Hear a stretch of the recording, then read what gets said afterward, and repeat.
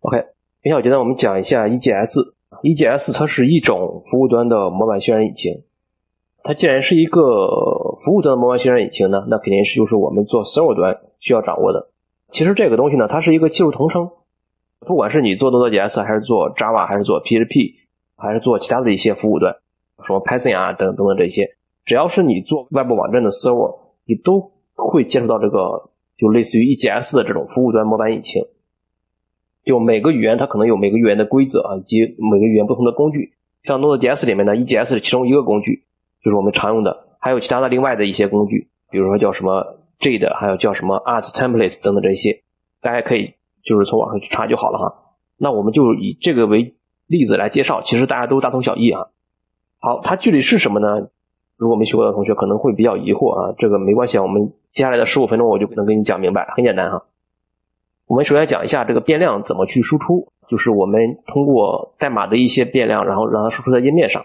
然后呢是判断和循环，就是这个模板嘛，在服务端编译的，我们得让它动起来，对吧？不能说是静态的，像 HTML 一样，静态的不能动，这也不行。另外一个呢就是引用组件，我们这个既然是一个模板，对吧？模板它就是一个视图层的东西，视图层它里面，比如说页面 A 和页面 B 和页面 C。这三个页面之间肯定是有一些相同的一些部分，这样的话我们就抽离为组件。这一点其实像 Vue、React 他们也是借鉴了这个思路。好，我们通过这三个的演示呢，基本上就能把这个 EGS 这个工具能给大家讲明白。接下来呢，我们直接看代码演示就好了。OK，那我们还是之前的代码。我在演示这个代码之前呢，我突然发现我们上一节代码没有提交，然后我就提交了一下。我们这个提交呢，就是 git add 什么，然后。Git commit 啊，git commit 的时候呢，这个信息我们要写一个 filter，filter 就说明是我们要新增加一个什么功能。我们增加的功能就是路由的演示。我刚才已经提交过了，所以说我们就没法再提交了。这儿就撤销一下，大家可以通过这种方式来提交一下。然后完事之后呢，可以 git push orange master 就把它提交到上去就行了。大家看我这个。Log 中已经有了这个了，然后我们看一下提交的内容哈。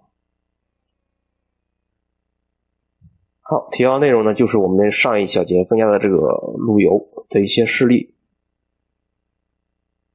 好，那我们再回过头来继续看我们的这个 EGS 模板引擎。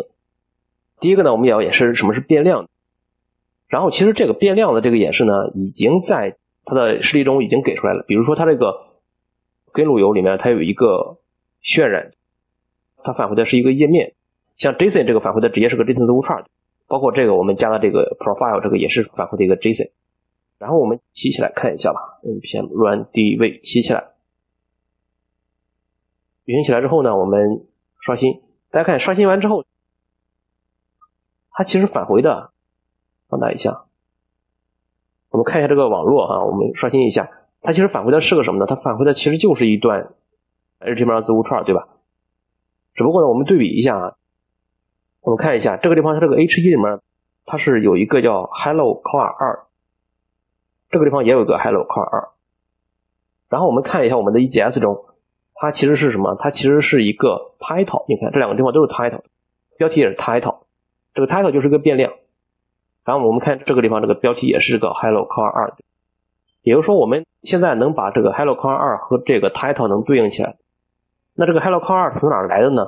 它是从这个路由里面传过来的。我们看一下路由里面，通过这种方式，就 ctx 点 render index 就是这个文件的名字。然后它怎么能找到这个 index 点 EGS 呢？包括这个 views 下面的这个目录下面的这个文件呢？是因为我们在 app 点 gs 中已经注册了啊。我们之前也讲过，就是我们通过这种方式来注册我们的 EGS 的模板在这个目录下。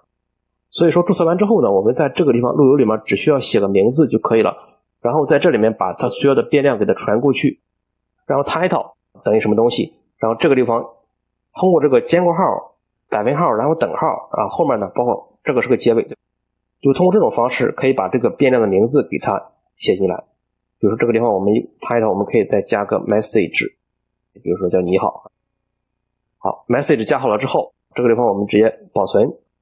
这样的话，它就是把这个 message 这个变量传给这个 EGS 模板了。那我们怎么去获取呢？啊，比如说我们很简单，我们就借用之前的方式就好了，间隔号，然后百分号，百分号，间隔号，然后这里面等号，等号里面我们原则上就要加一个空格，就是为了这个让这个代码更好看一些。你不加空格其实也无所谓，你这么写也无所谓。但是为了代码美观，我们还是要加个空格啊，然后保存一下。好，这个时候呢，按理说它的下面有就有了这个 message，message 的内容呢就是你好。好，我们就直接刷新看一下。OK，大家看这个地方就有了这个你好。好，这就是输出一个变量。还有一种情况呢，就是比如说我们这有个 message 啊，我们又加了第三个变量，比如说叫个 name 吧。好，这个地方我们加了个 name，但是我们这个路由中没有给它传 name 这个变量。OK，这样的话保存。好，再刷新，又会报错。这个 error 这个报错呢，它其实就是我们之前说的这个 app 点 gs 里面的这个 on error handler 这里面它处理的，就它监测到后面有错误，它就会在前端给你报一个错，就说明后面报错了。我们看一下控制台里面报了什么错。OK，它指向了这个地方，对吧？你看，说什么呢？说这个 name is not defined，就是说我这个模板里面有这个 name 这个变量，但是呢，你没给我传，所以说我这儿就报错。对 GS 这个语言来说，看起来是一个很不可思议的事情，因为 GS 里面如果你随便写个变量，它是不会报错的，除非是你用那个严格模式，或者说用 ESLint 的一个检查，它才会给你报警告的。但这个地方它就比较严格，就是我写什么变量，你必须给我传什么变量。如果想要不报错的话该怎么办呢？我们前面加一个 locals，locals 点 name，我们再保存，刷新。OK，大家看，直接看源码，这个地方就成了 P 标签空的了，它也没有报错，就说明什么呢？就说明这个 name 我们虽然没有传，但是我们前面加了一个 locals 点 name。前面加了一个这个之后，它就不会报错了。如果你没有传，它就会返回一个空，就完了。这样的话是比较友好。所以说我们在写 EJS 模板的时候，如果不确定哪个变量是不是一定后端传过来，我们就写一个 locals，这样就可以了。OK，这就是我们所说的那个变量。好，那我们再写一个判断吧，啊，比如说我们在这里面传一个 is me。Is me 就是说这个页面是不是我？这个呢，其实在我们接下来如果做个人主页的时候会用到。个人主页里面，它右上角有一个个人信息，个人信息那个地方展示呢，如果是自己的话，啊，有 is me 等于 true 的时候，它会显示一个，比如说艾特我的有几条信息，就是我获得的几条信息。如果 is me 等于 false，就是说这个界面上判断这个人不是我的话，它就会显示一个关注或者说取消关注的按钮，就是进了自己的。就其实你自己有几条信息，这个很正常，对吧？如果你进了别人的个人主页，那你肯定看不到别人的信息吧？然后就显示一个你关注或者说取消关注这个人，这个很正常。所以说，我们就通过这儿模拟一下这个逻辑：is me 等于 true。然后接下来我们在这个地方，我们写一个简单的一个 if else 的逻辑，这个很好写啊。我们加一个 div。OK，这里面我们写一个 if else 的逻辑，还是一样哈。比如我们所有的这个跟这个变量是一样的，我们可以直接这么考一下。然后这个里面，我们就直接写一个 if 啊，然后变量的名字是什么？is me。好，if is me，然后是括号，括号只写一半然后呢，我们再把这个格式粘贴过来。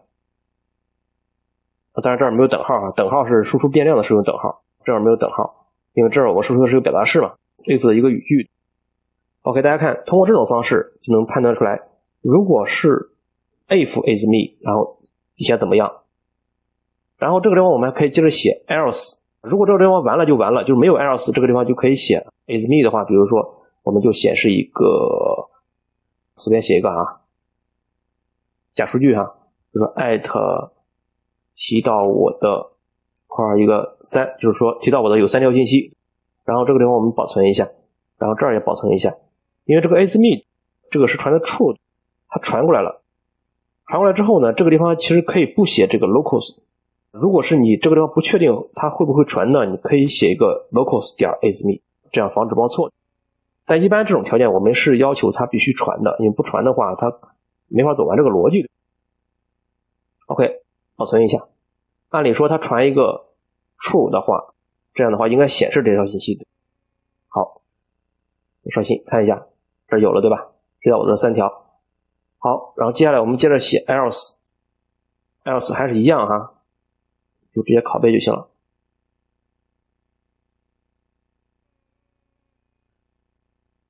OK，if 然后括号是这个，然后 else 括号是这个，else 就是说如果不是我的话怎么样？如果不是我的话，别人的个人主页对吧？我们就显示一个 button，比如说叫关注。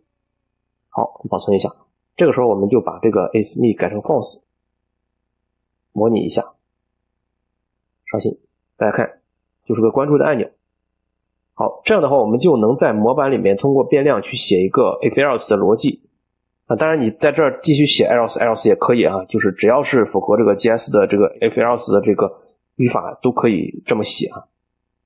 OK，那这样的话，变量和 if else 就讲完了。还有一个细节啊，就这个地方大家有没有注意？它是一个 await，await 就说明是个异步，因为我们这个中间件完全是 async 这个异步函数的这种形式，所以说里面可以直接写 await。